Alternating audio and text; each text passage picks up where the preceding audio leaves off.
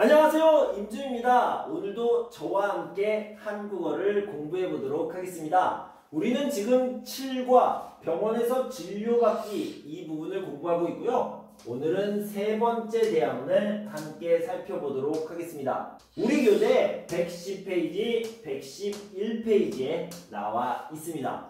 자 이제 진료 치료를 다 받았습니다. 그리고 이제 집에 가야 돼요 집에 가기 전에 돈을 내야 되죠. 돈을 내고 약을 받아야 되는데요. 병원에서는 약을 주지 않습니다. 네? 병원에서 약을 안 준다고요?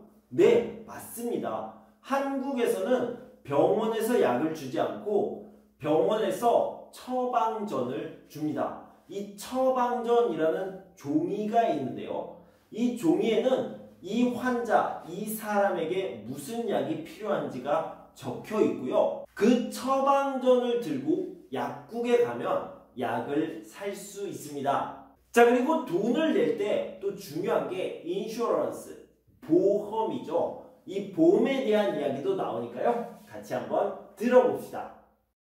케빈 씨, 여기 처방전이고요. 모두 5,200원입니다. 네, 여기 있습니다. 그런데 약은 안 주시나요?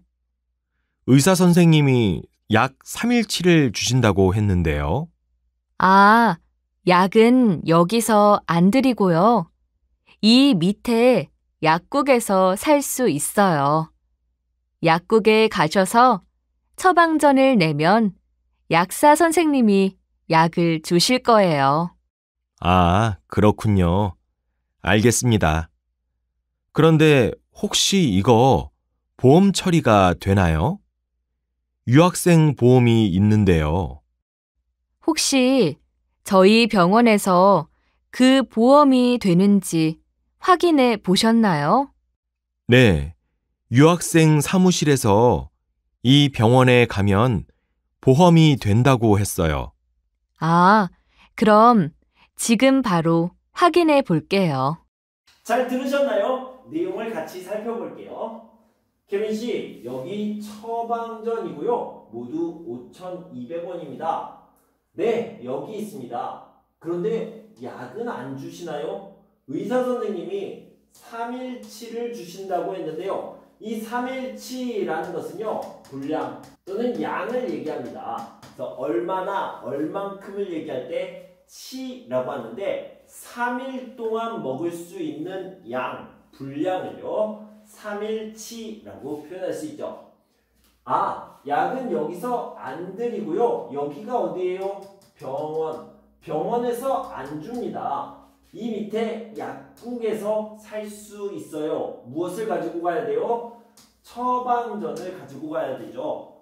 약국에 가셔서 처방전을 내면 약사님, 약사 선생님이 약을 주실 거예요. 약국에서 살 수 있습니다. 아, 그렇군요. 알겠습니다. 그런데 혹시 이거 보험 처리가 되나요? 유학생 보험이 있는데요. 보험 처리라는 말은요. 이 보험을 가지고 병원비를 지원받을 수 있는 것, 병원비를 내는데 도움을 받을 수 있는 것을 이야기하는 거죠. 보험 처리라고 이야기합니다. 혹시 저희 병원에서 그 보험이 되는지 확인해 보셨나요? 네, 유학생 사무실에서 이 병원에 가면 보험이 된다고 하셨어요. 보험 처리가 된다고 했어요. 아, 그럼 지금 바로 체크해 볼게요. 확인해 볼게요. 이렇게 얘기했죠. 자, 이 부분을 다시 한번 들어봅시다. 케빈 씨, 여기 처방전이고요. 모두 5,200원입니다. 네, 여기 있습니다. 그런데 약은 안 주시나요? 의사 선생님이 약 3일치를 주신다고 했는데요. 아, 약은 여기서 안 드리고요. 이 밑에 약국에서 살 수 있어요. 약국에 가셔서 처방전을 내면 약사 선생님이 약을 주실 거예요. 아, 그렇군요. 알겠습니다. 그런데 혹시 이거 보험 처리가 되나요? 유학생 보험이 있는데요. 혹시 저희 병원에서 그 보험이 되는지 확인해 보셨나요? 네. 유학생 사무실에서 이 병원에 가면 보험이 된다고 했어요. 아, 그럼 지금 바로 확인해 볼게요.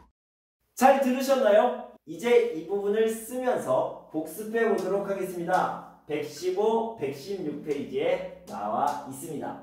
케빈 씨, 여기 처방전이고요. 이 처방전을 들고 약국에서 약을 받을 수 있죠. 모두 5,200원입니다.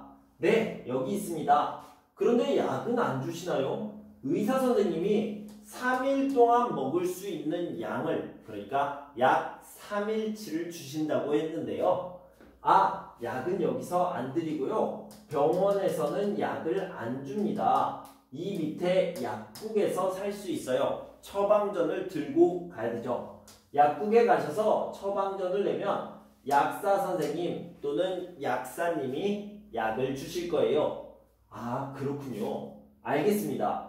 그런데 혹시 이거 보험, 보험 처리가 되나요? 보험을 통해서 할인받을 수 있습니까? 병원비를 받을 수 있습니까? 이렇게 물어보는 거죠. 유학생 보험이 있는데요.